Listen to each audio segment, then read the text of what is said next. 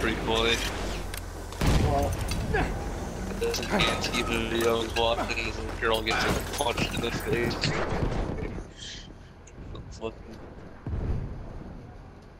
Uh.